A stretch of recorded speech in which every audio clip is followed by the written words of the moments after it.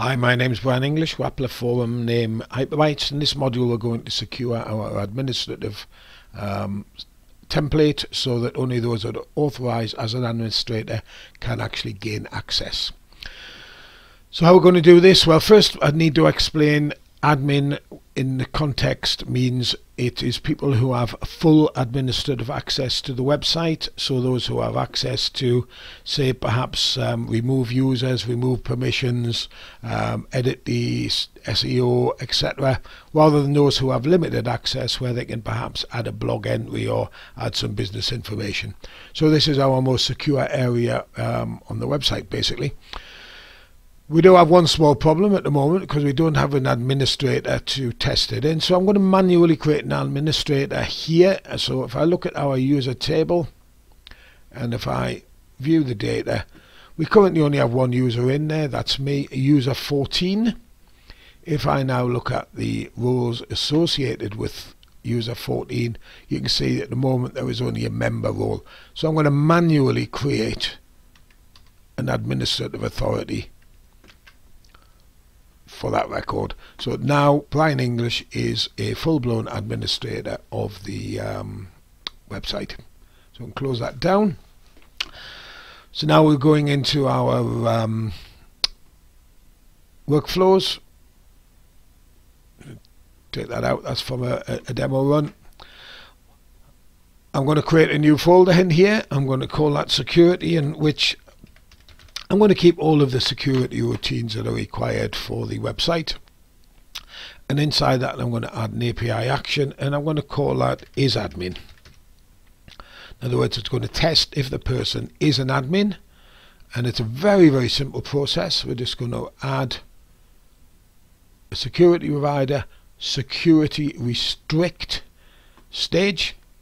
We're using our provider ComWeb still we're looking for administrators. And I'll just point out here if you add member this isn't administrator or member it is both. So you'd have to have both of those authorities um, which in technically actually would because everybody is a member but there's little point in putting that there. So nobody who is doesn't have the full administrator authority will be able to get past this restriction stage. And if they fail on that then we're just going to bounce them over to the login page. So let's save that. That was a really easy process. Now if we go into our admin, if we look at our server connect, server actions, security is admin, and add that.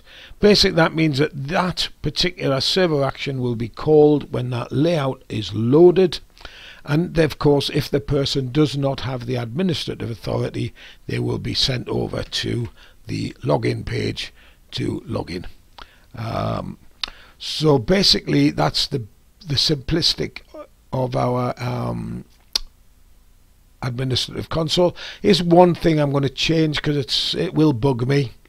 If we go into our routing you see our admin homepage has automatically got its route created for obvious reasons but I don't want to have to type all of that in. What I want is if I just type in cwadmin, I want it to serve up this particular page. So I'm just going to manually change that route really straightforward to do. I'm going to hit control S and there we are the uh, page path has been changed.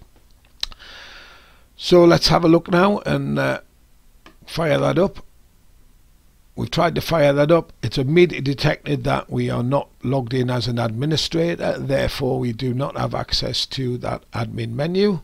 Um, so I'm going to log in.